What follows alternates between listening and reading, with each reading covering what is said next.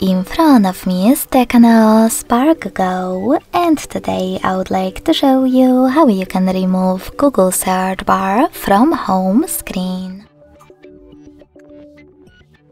You need to begin by simply holding your search bar. Following that, click on remove option in the pop-up.